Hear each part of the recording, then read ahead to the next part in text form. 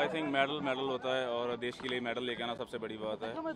जो हमारी कोशिश थी कि हम फाइनल तक जाएँ और गोल्ड मेडल जीतें बट अनफॉर्चुनेटली वो हमारा सपना पूरा नहीं हुआ।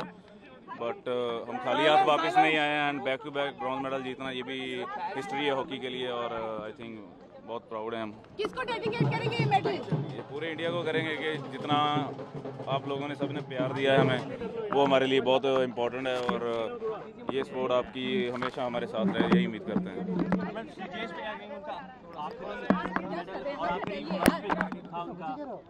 आई थिंक काफ़ी इमोशनल मोमेंट था उनके लिए भी और क्योंकि इतना समा उन्होंने uh, जो हॉकी को दिया है टीम को दिया है आई थिंक वो बहुत बड़ी बात है। एंड एंड लास्ट मैच खेलना और मेडल के साथ फिनिश करना, इससे बड़ी बात उनके लिए भी कोई नहीं है। तो हमारा यही था कि उन, जो वो जा रहे हैं तो उनको अच्छे से भेजें मेडल के साथ भेजें।